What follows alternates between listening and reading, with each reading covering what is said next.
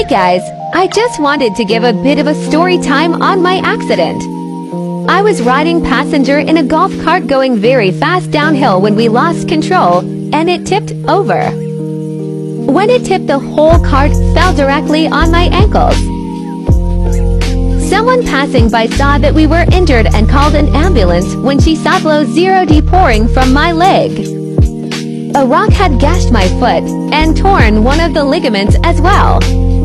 We were shocked I didn't break any bones. I ended up with two severely sprained ankles, a ligament rate a stitch, and second degree road rash on my